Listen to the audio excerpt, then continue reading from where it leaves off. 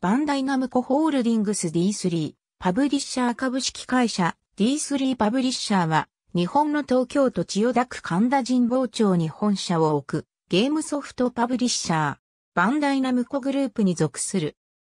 元はカルチュアコンビニエンスクラブの関連企業であるカルチュアパブリッシャーズ株式会社のゲーム事業部だったが、不動産管理業者だった株式会社インターナショナルシグナルの不動産管理業を廃業して株式会社 D3 パブリッシャーに改称し、事業上とすることでゲーム部門を実質的に独立させた。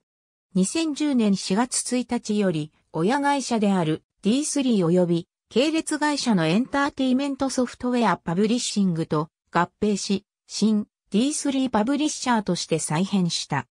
1500から2960円の廉価、ソフトシンプルシリーズを展開していたほか、パチスロソフトやディズニー映画のゲーム化、乙女ゲームなどでフルプライスソフトを多く発売している。